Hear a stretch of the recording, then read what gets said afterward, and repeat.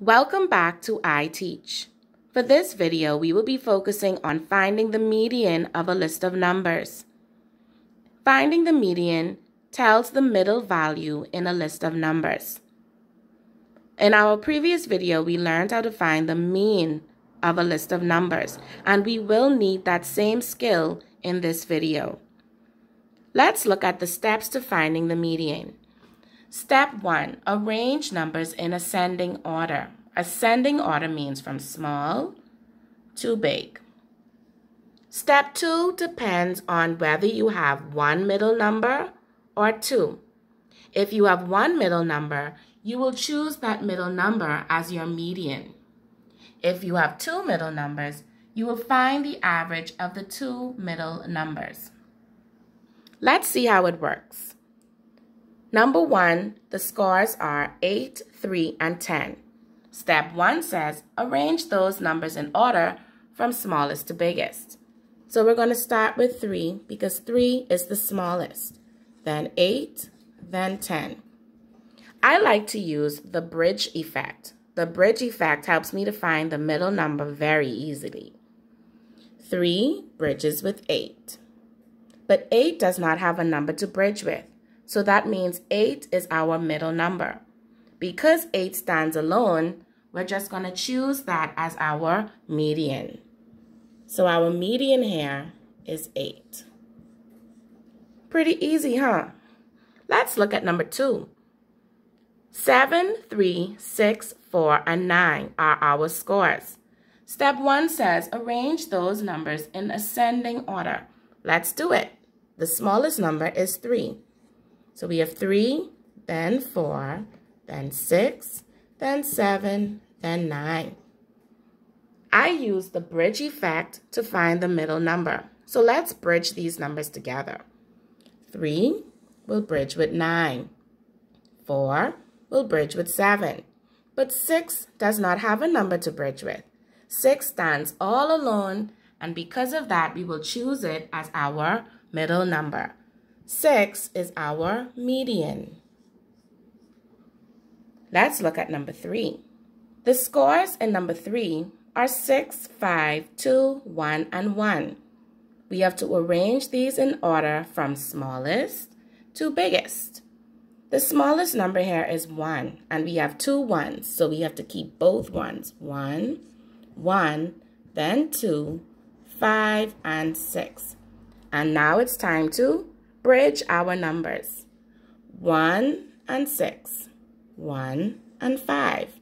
But 2 stands alone, so we will choose that middle number as our median. Isn't it amazing how math skills build on each other? If you didn't know how to arrange numbers in ascending order, how would you have been able to find the median? Let's move to number four. Oh, I'm missing a number for number four. Let's put a number there. I think I wanted three there. Let's do that. Okay. The first step is to arrange these numbers in ascending order.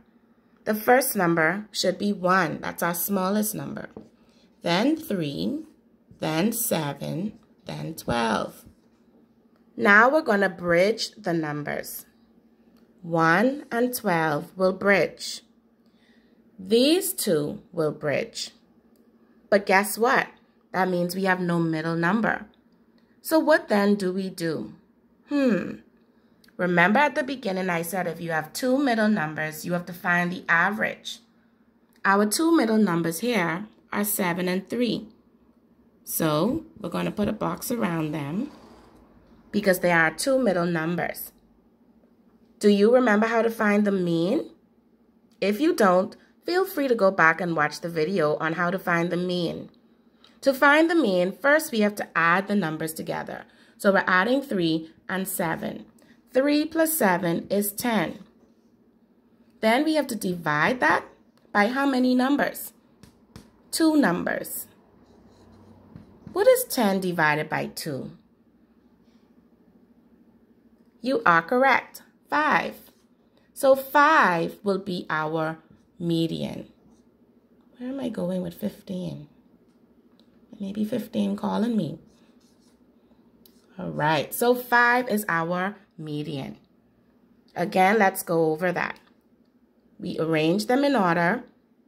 We found that we had two middle numbers, so we added them together to get 10. And we divided it by 2. And that's how we got 5. Let's see what number 5 has for us. We have some bigger numbers here in number 5. We have 12, 8, 15, 6, 1, and 4. Let us arrange these in ascending order. The smallest number is 1.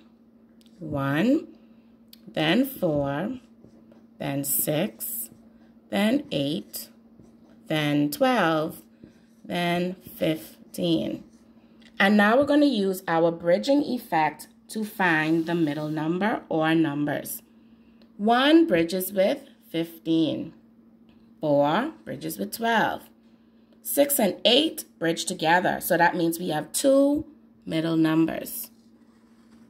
What do we do with the two middle numbers? Find the average. How do we find the average? We add them together. 6 plus 8.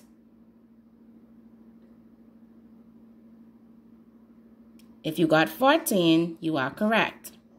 14 has to be divided by 2.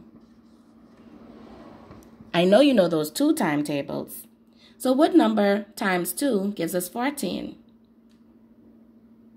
You are correct, 7. So 7 is our median. Let's now look at number 6.